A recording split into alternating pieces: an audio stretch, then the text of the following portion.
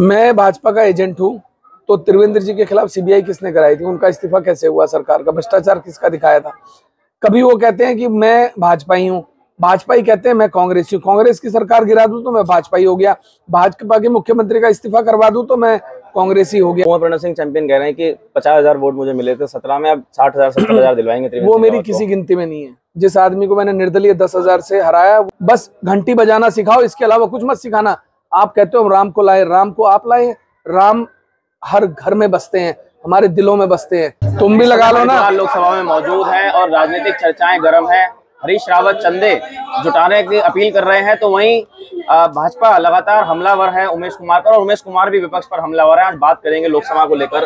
हरिद्वार में प्रचार कर रहे हैं आप। कितना जन समर्थन पहले मिल रहा है आपको? जन समर्थन आप स्वयं देख सकते हैं। आम जनमानस जुड़ रहा है। आम जनमानस आज हरिद्वार के सम्मान और स्वाभिमान की लड़ाई लड़ना चाहता है।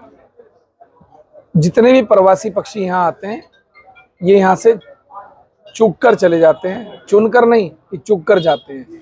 और उसके बाद पाँच साल इनको किसी की कोई परवाह नहीं होती। हरिद्वार में आज हम बैठे हैं। हरिद्वार के कॉरिडोर का मामला आज तक किसी ने आवाज़ नहीं उठाई, कोई बोलने को तैयार नहीं हुआ। ऐसी क्या मजबूरी है आपकी कि आपके लिए जनमानस की भावनाएँ महत्व नहीं रखती आपके लिए पार्टी की भावनाएँ जब तक आप पार्टी की सीमा में बंधे रहेंगे आप किसी की आवाज़ नहीं उठा सकते। आपको स्वतंत्र होना पड़ेगा लड़ना पड़ेगा आवाज़ उठानी पड़ेगी। सदन में मैं बोला कॉरिडोर के लिए कौन बोला बताइए? मतलब आप सांसद बनेंगे तो ये विश्वास जता रहे हैं कि कॉरिडोर नहीं बनेगा। मैं इतना विश्वास जता रहा हूँ कि अगर यहाँ बुलडोजर चलेगा और व्यापारियों की इच्छा के विपरीत चलेगा तो सबसे पहले हम पे चलेगा हम आगे खड़े होंगे। चाहे मैं सांसद रहूँ चाहे मैं विधायक रहूँ किसी भी स्थिति में रहे इस कॉरिडोर की लड़ाई हम लड़ेंगे। भाजपा ने टिकट काट कर बदला है त्रिवेंद्र सिंह रावत को दिया है। आपके पुरानी रंज, उनके राजनीतिक रंजिश है किस तरीके से देखते हैं आप? मेरी राजनीतिक रंजिश ना तो निशंक जी से थी। वो बात अलग है उन्होंने मुझ पर दर्जनों मुकदमे कराए कुर्की कराई इनाम रखवाया वांटेड किया लेकिन वो हटा दिए गए। मेरी त्रिवेंद्र जी से भी कोई पर्सनल दुश्मनी नहीं है। भ्रष्टाचार के खिलाफ लड़ाई थी। हमने उनके भ्रष्टाचार को उजागर किया, उन्होंने हमें जेल में डाला, उन्होंने हमारे कब दर्जनों मुकदमे किए ईडी की सीबीआई की इनकम टैक्स किया, सब कुछ किया। हम झुके नहीं, हम लड़े, हमने उनके खिलाफ भ्रष्टाचार के मामले में सीबीआई जाँच के आदेश कराए, उनका इस्तीफा हुआ। हरीश रावत जी का कहते हैं कि साहब, मैं सुपारी किलर हूँ तो मैं ये जानना चाहता हूँ कि हरीश रावत जी जो 25-30 करोड़ रुपए आप लेना चाहते थे, लोगों में बांटना चाहते थे, कमाना चाहते थे, जो आपने कहा था मैं एक एक विधायक को 20 करोड़ 25 करोड़ दे दूँगा तो 20 खरीद 20 करोड़ अ, 20 विधायक खरीदने के लिए आपके पास 400 करोड़ रुपए कहाँ से आए थे?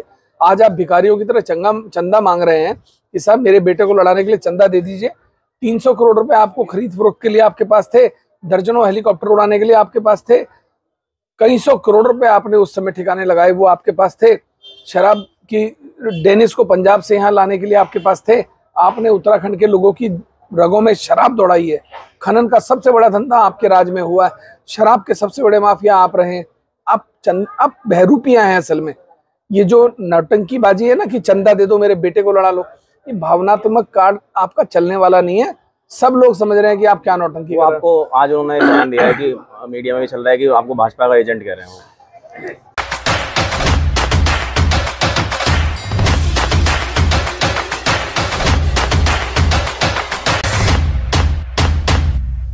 मैं भाजपा का एजेंट हूँ तो त्रिवेंद्र जी के खिलाफ सीबीआई किसने कराई थी? उनका इस्तीफा कैसे हुआ सरकार का? भ्रष्टाचार किसका दिखाया था? कभी वो कहते हैं कि मैं भाजपा ही। हूँ भाजपा ही कहते हैं, मैं कांग्रेस हूँ। कांग्रेस की सरकार गिरा दूँ तो मैं भाजपा ही हो गया। भाजपा के मुख्यमंत्री का इस्तीफा करवा दूँ तो मैं कांग्रेस ही हो गया। अपने गिरबान में झांको पहले, अपने भ्रष्टाचार पर झांको। जब से ये राज्य बना, आप लोगों ने इस राज्य को गर्त में ले जाने का काम किया आप लोगों को तो इस माँ गंगा के तट पर आपको मोक्ष भी नहीं मिलने वाला। आप इतने बड़े पापी हो। कुंवर प्रणव सिंह चैंपियन कह रहे हैं कि पचास हज़ार वोट मुझे मिले थे सत्रह में अब साठ हज़ार सत्तर हज़ार दिलवाएँगे वो मेरी किसी गिनती में नहीं है। जिस आदमी को मैंने निर्दलीय दस हज़ार से हराया वो बात ना करे तो ज़्यादा अच्छा है। हरिद्वार के कौन से मेन मुद्दे रहेंगे? आखिरी सवाल मेरा चार पाँच हरिद्वार का सबसे मेन मुद्दा है कॉरिडोर व्यापारियों की लड़ाई।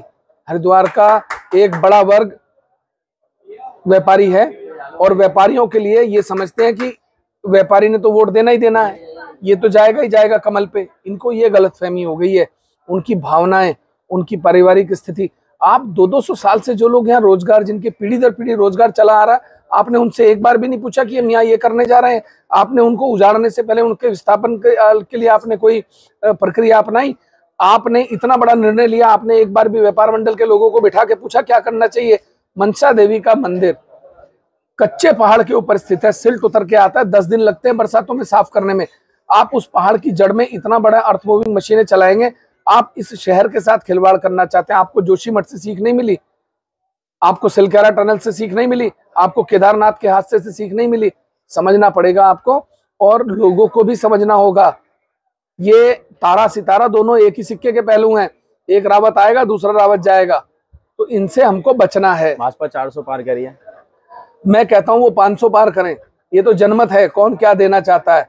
आप बार बार कहते हैं एक ही बात की अयोध्या तो झांकी अभी मथुरा काशी बाकी है। आपने कभी कहा कि दिल्ली के अस्पताल तो झांकी अभी पूरा देश बाकी है? आपने कभी कहा कि महाराष्ट्र में रोज़गार तो झांकी है, पूरे देश में बाकी है? आपने कभी कहा दिल्ली के अस्पताल तो झांकी है, पूरे देश में बाकी है?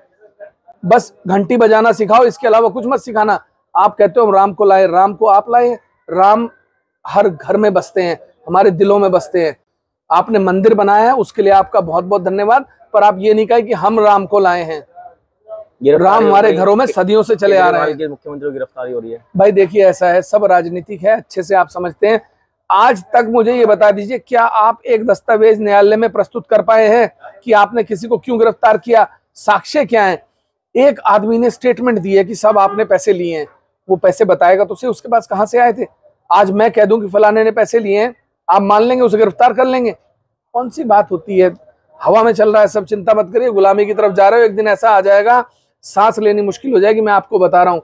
आप करते रहिए हिंदू, मुस्लिम, मुझे कोई एतराज़ नहीं है, लेकिन आप एक दिन उस स्थिति में आ जाएँगे, आपकी ये जो भावनाओं के साथ खिलवाड़ हो रहा है ना, आप अपने को क्या, अपनी आने वाली पीढ़ियों को भी माफ़ नहीं कर पाएँगे, मैं बता रहा हूँ तो यहाँ पर आपने सुना, उमेश कुमार हमारे साथ आज बात करने के लिए मौजूद थे, खास बातचीत में हमारे साथ हरिद्वार से जुड़े थे, फिर मिलते हैं किसी अगली खबर के साथ, अब तक आपका बहुत बहुत धन्यवाद।